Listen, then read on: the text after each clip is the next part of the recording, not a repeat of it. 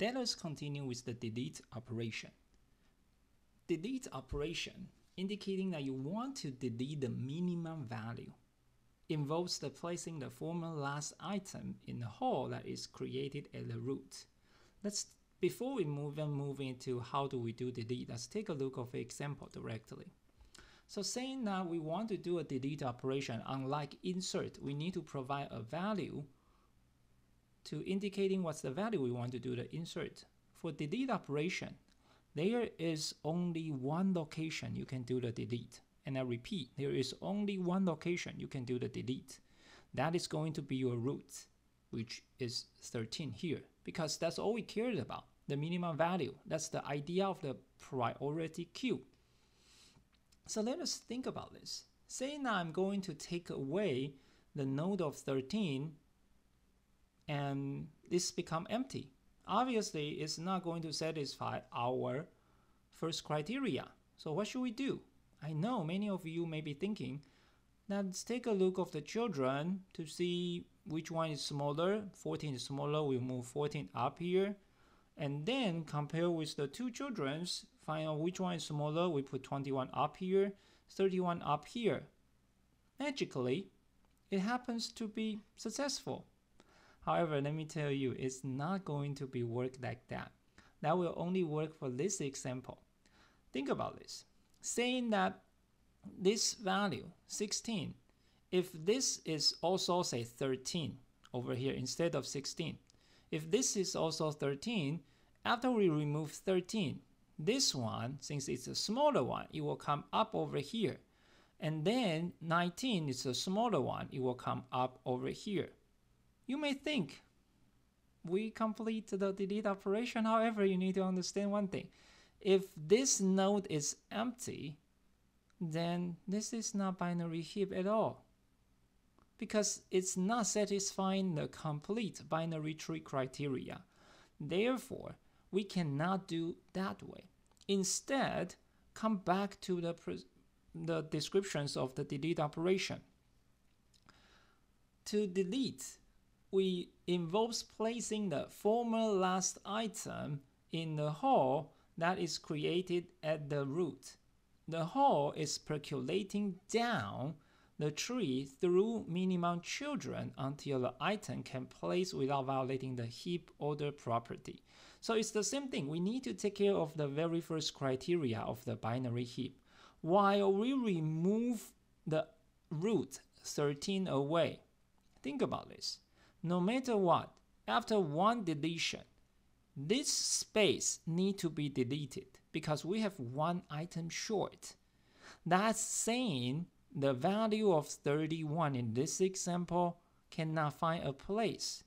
Since the root has a place, let us put 31 at the root, which is the space that has been deleted, and then percolating down, finding that 14 is smaller one, so you can swap with that. 21 is smaller, so we can swap with that.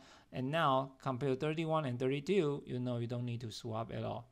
That is how we will be able to do the delete operation. So it's the same idea. We need to remove the space and there is a place that we can put. So we put 31 up there.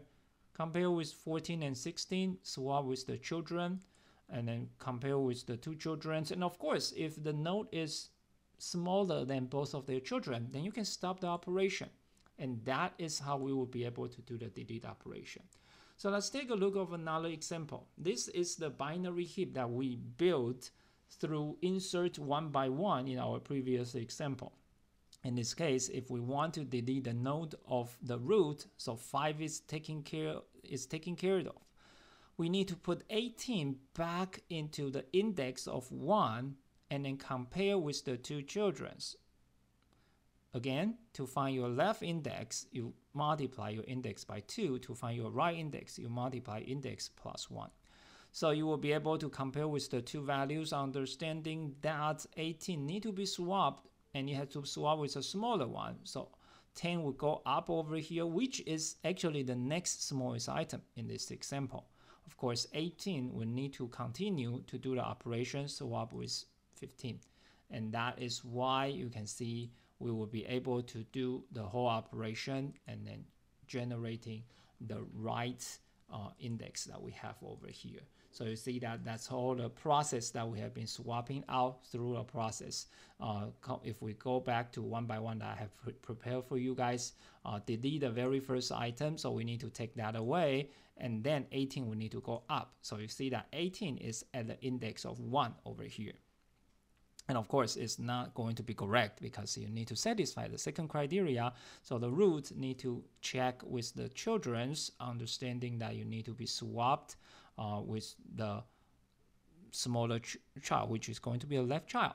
And then we need to percolating down until it's finding the right spot, and that will give you uh, the result of the deletion.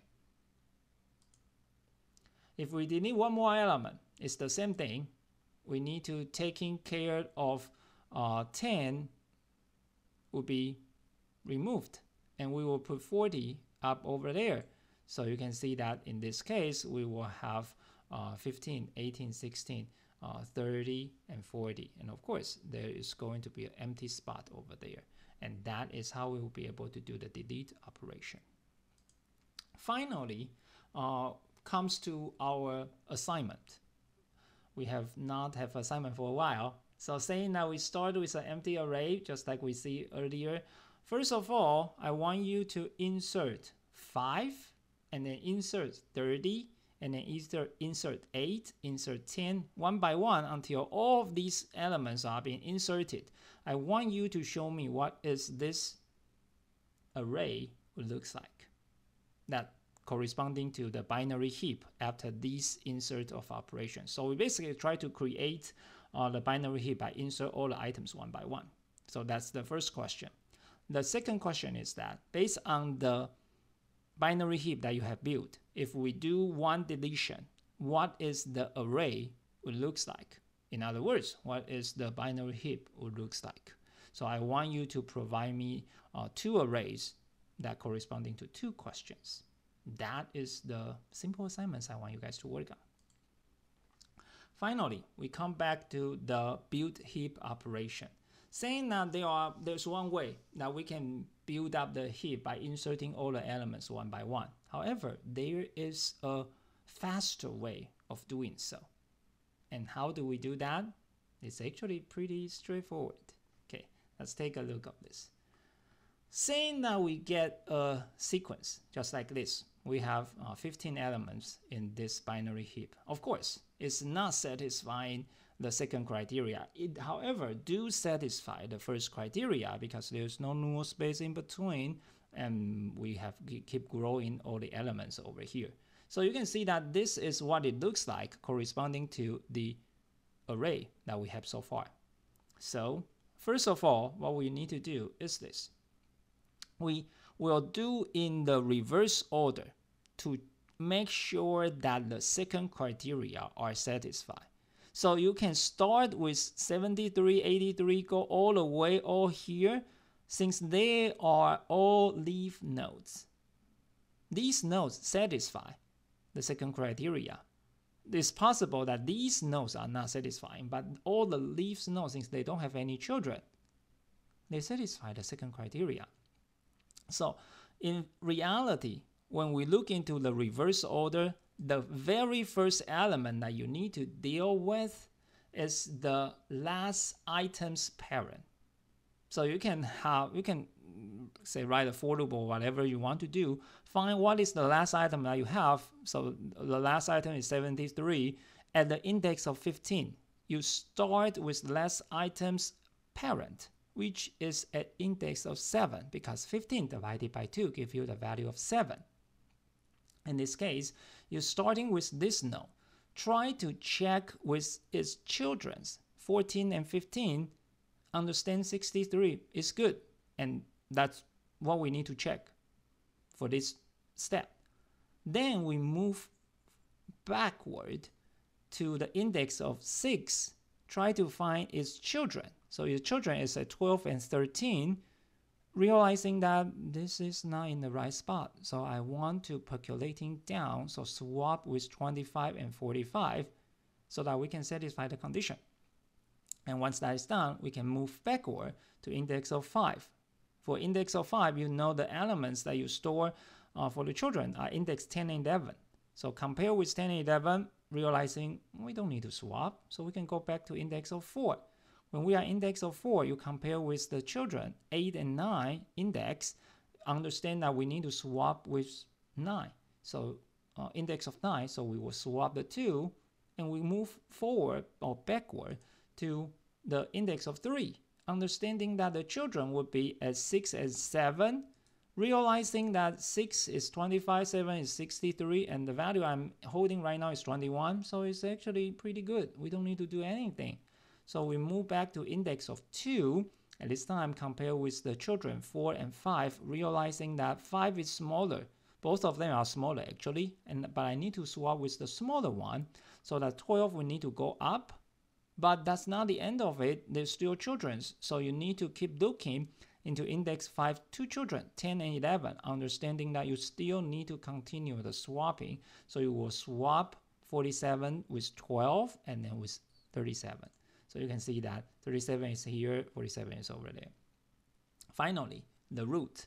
Of course, you need to percolating down, compare with the two children, index 2 and 3, swap with 2, swap with 4, because uh, index of 2, you need to look into two children, and then you need to continue doing so uh, by looking at the index of 8 and 9, and when we are 8 and 9, then we are uh, finding out that uh, index of 9 um, since there is no children's at all, that that is going to be the space that's holding uh, the value. And you can see that throughout this process, we can quickly build up the heap for all the values that we have stored in the array.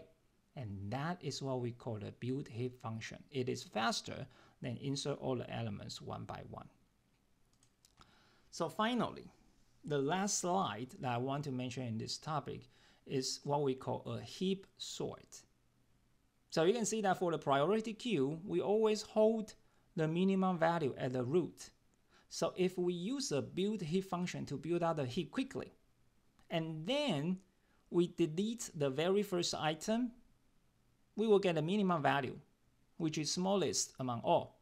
If we do the second delete operation, we get the second smallest item.